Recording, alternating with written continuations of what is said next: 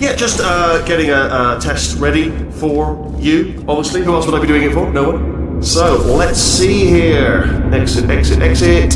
There is no exit. Not a problem. I'll just, I'll make an exit for your test.